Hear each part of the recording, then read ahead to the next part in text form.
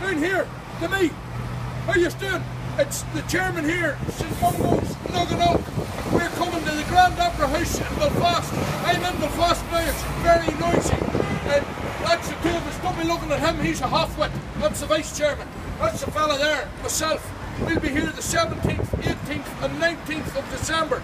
Great Christmas night out. St Mungo's in the Grand Opera House. Come on, Belfast. Let's see what you've got.